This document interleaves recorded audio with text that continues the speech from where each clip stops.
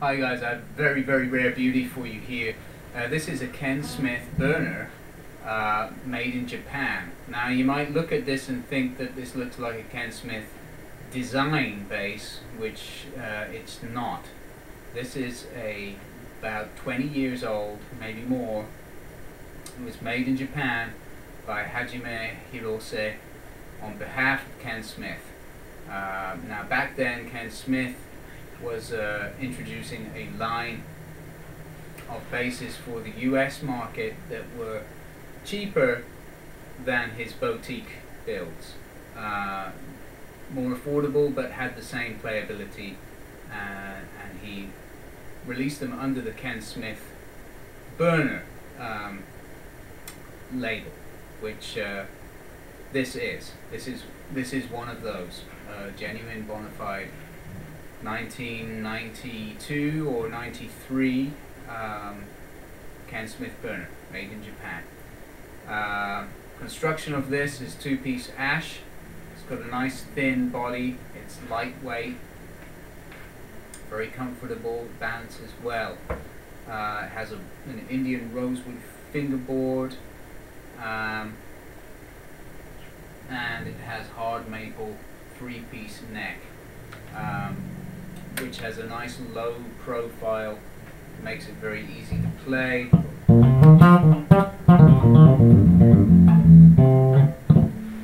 Um, and it has that real um, lovely boutique bass sound to it as well, which uh,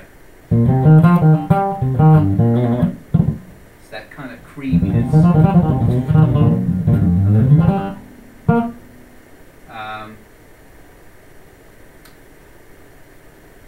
You know, it sounds just like its more expensive cousin. So uh, it doesn't have as much tonal variety as as those do. However, um, it has enough. It has enough to satisfy a seasoned professional. Um, what you got here basically is your pickup balancer. Uh, main volume. Got your treble, mid and treble, and your bass and boost and cut. Both of these are notched. Uh, everything is notched actually, except the bottom, so that it makes it easier for you to know when, when you're balanced and when you're not. So that's a, that's a very good feature. Anyway, let's listen to how it sounds. I have a loop here. I'm just going to play I'm just going to play with everything uh, balanced, set in the middle, and this is the tone we get.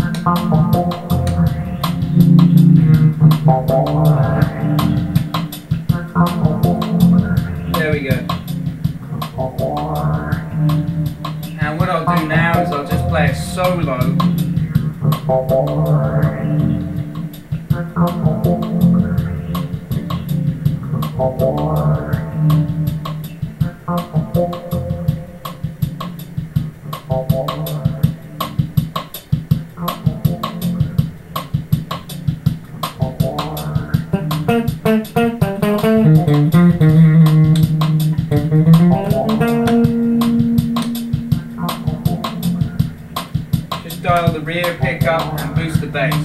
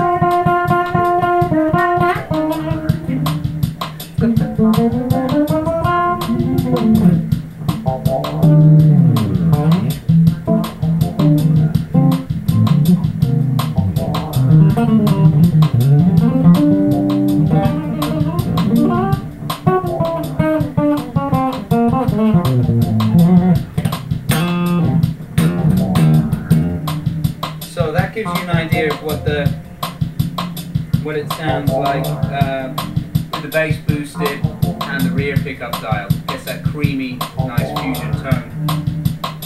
I'll just uh, dial the neck pickup and balance the EQ.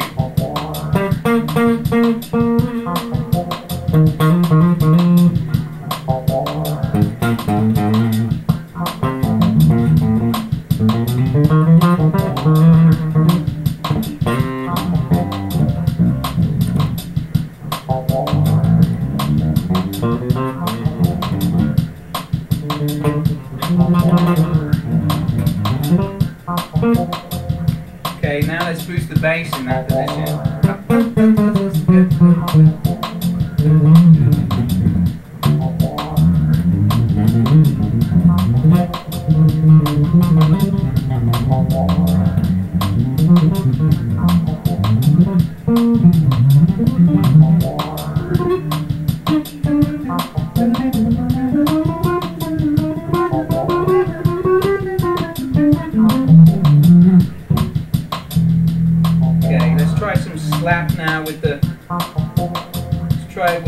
balanced.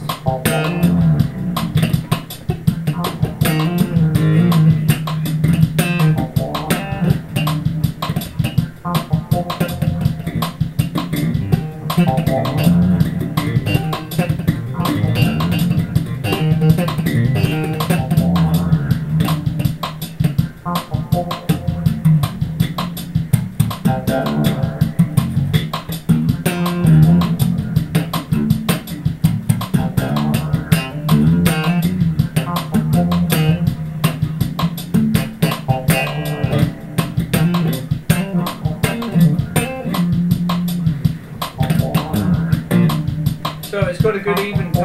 Let's have a look at um, how the harmonics sound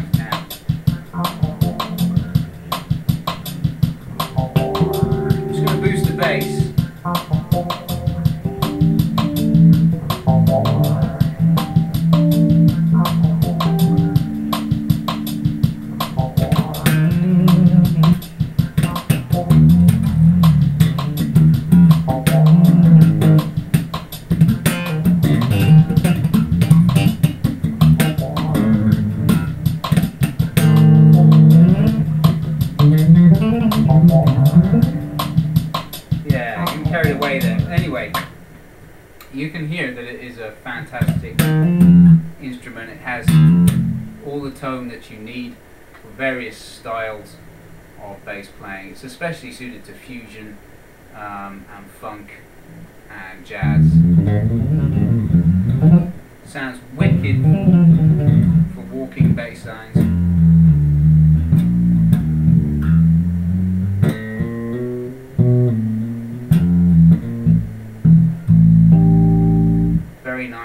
Um,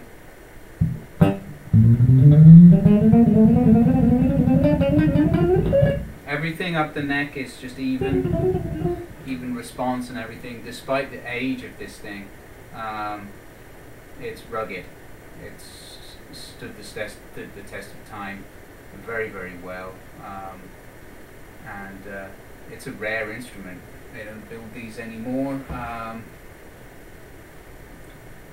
so anyway, this is a, a lucky find, and uh, I have it up on eBay as well now. If anyone is interested, I'll be looking out for some more of these, but uh, they're very hard to come by. Like I said, they're not made anymore. They're discontinued. Maybe 12 or 13 years ago, they discontinued um, by Ken Smith. So again, it's a Ken Smith burner around 1992 or 93. Um, it is not a Ken Smith design bass. It is a Ken Smith burner made in Japan. Um, construction is two-piece ash, three-piece maple uh, neck. Uh, you've got a rosewood fretboard, 24 frets, beautiful fretboard, 34-inch uh, scale, uh, very even response way up it's really good, comfortable to play, and um, sonically it has it has that Ken Smith sound. Um, and the reason for that I think is because of his custom shop pickups. Uh, the bass was built in Japan with woods that were sent over by Ken Smith. Um, it was then fashioned, crafted in Japan, uh, sent back to the United States where Ken Smith installed the circuitry at his workshops. So that's the the production um, story behind this bass, and um, like I said back then, it was a bass that was kind of mid-range Ken Smith. Um, it was built for serious professionals who don't want to spend, you know, four thousand or five thousand dollars that the uh, the regular Ken Smiths were demanding. And these came in at around two thousand dollar mark, roughly back then. Um, and this one is in uh, it's in relatively fair condition considering it's vintage. A few scratches and dings on the body. The neck's in very good shape. Frets, frets are about 80% there. Um, a bit of wear further up the neck on the frets, but uh, yeah, it's good. This one has modification. It has the uh, ramps installed just for comfort. Um, they are rosewood ramps, quite handsome looking. Um, it's very nice, very nice instrument. Um, I'm not in a particular hurry to sell it, but if anyone is interested, it's there on eBay um, and it's available.